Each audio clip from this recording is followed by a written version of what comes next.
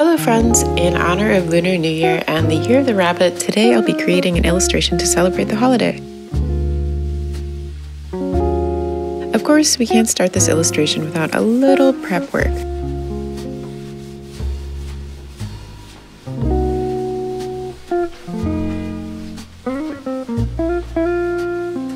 I'm going to be working with my usual Prismacolor pencils on this.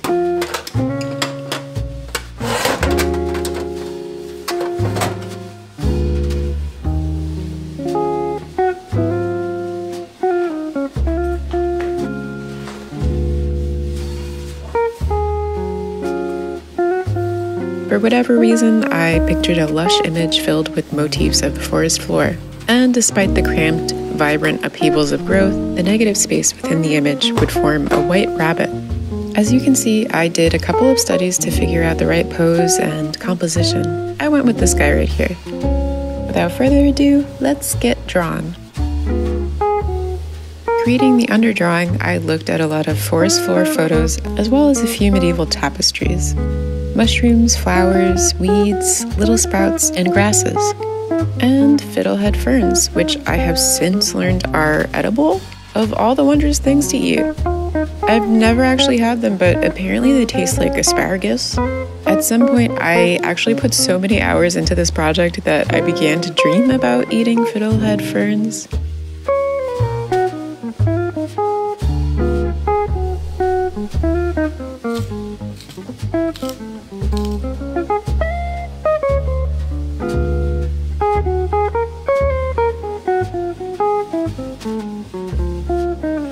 Point in the illustration, I switched drawing locations as the winter sun receded and I needed more light.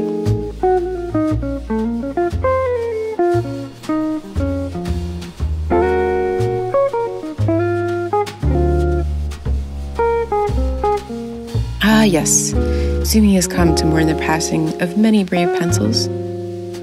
No, not the forbidden chips.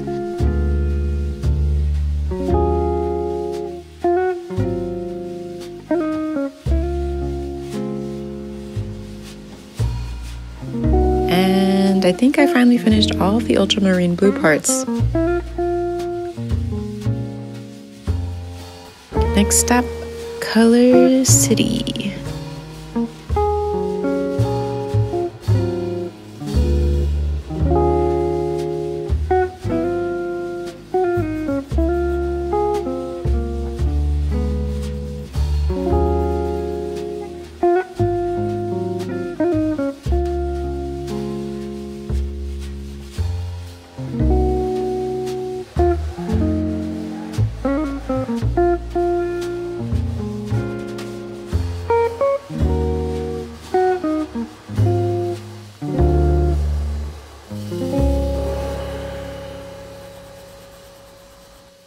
In all honesty, at this stage of the illustration, I am struggling, but holding fast.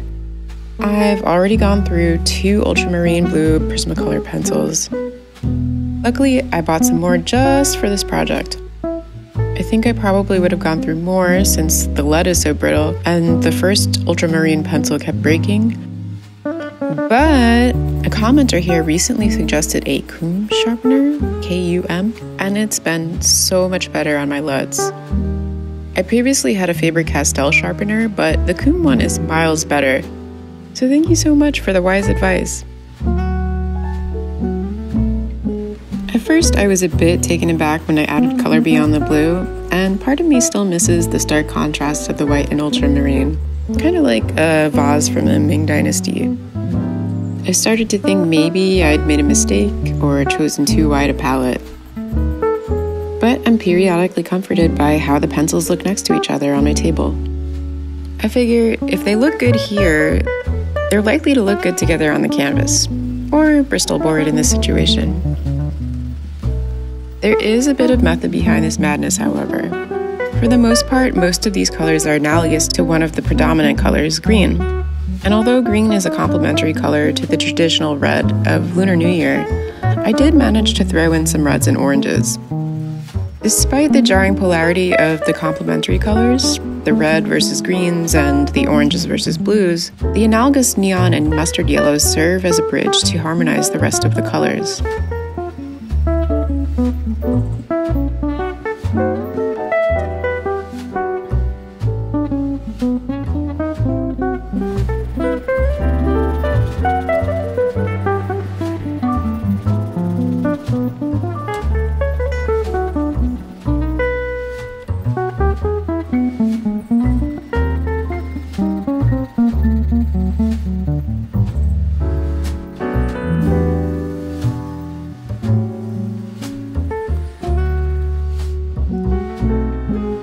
So, what's all the fuss about rabbits for this year?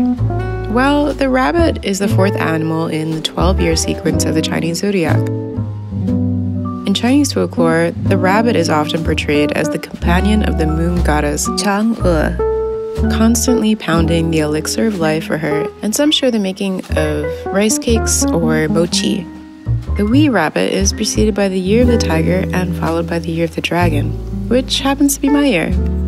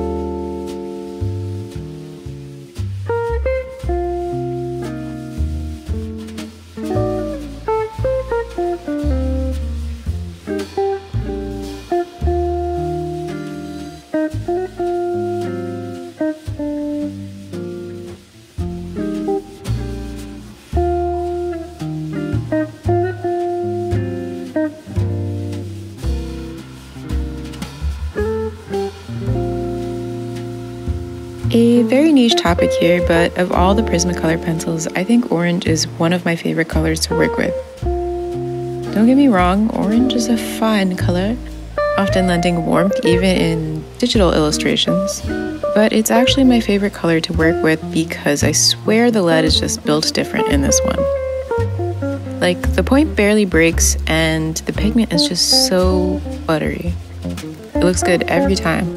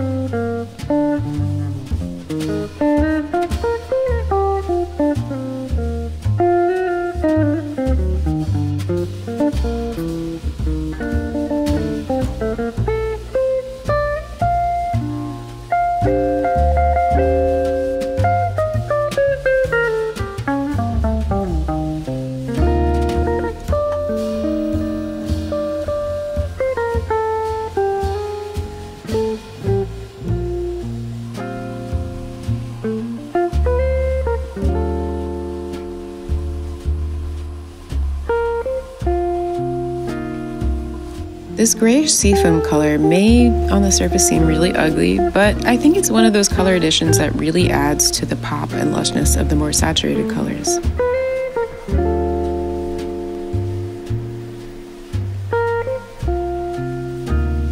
With the addition of this pale blue, I think we're in the final stretch, folks. Just adding some light shading to our rabbit here.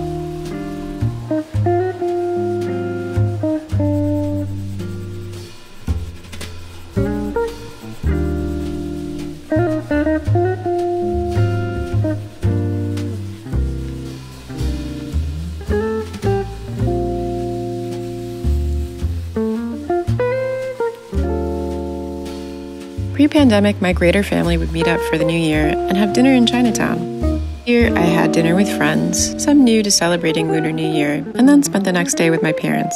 All in all, it was a weekend well spent with lots of delicious food and lovely company.